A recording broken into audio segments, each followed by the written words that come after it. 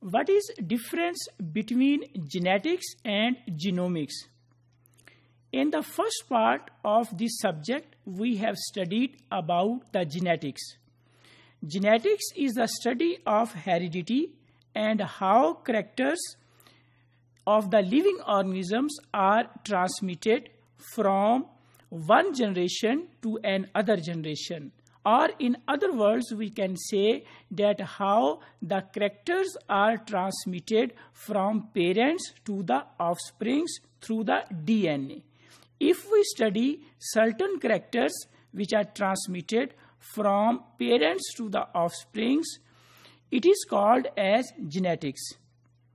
Genetics involves the study of specific or limited number of genes that have a known function Genetics deals that how genes guide body development, how they cause the disease, and how they affect our response to the drugs. So, in case of genetics, we study limited number of genes or we study the response of the drugs about the genes. On the other hand, genomics is the study in which we study the entire DNA or the entire genome which is present in the cell. So the difference between the genetics and the genomics is in case of genetics we study limited number of genes that can be one or more than one while in case of genomics we study the entire genome of that particular organism. Genomic study is usually performed with the help of computing and mathematic techniques where we analyze large or enormous amount of the DNA. So during genomics, we have a large amount of data. For analyzing that data, we need help of the computer softwares.